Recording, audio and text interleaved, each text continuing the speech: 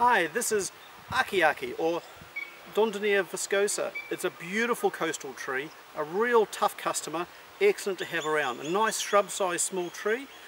Now, Akeake means strong. You probably hear it in a few hakas turning around. And it's a tree you can grow your own axe handles. The timber coming off is so hard, you cut it off, you dry it, fix an axe head to it, you're off.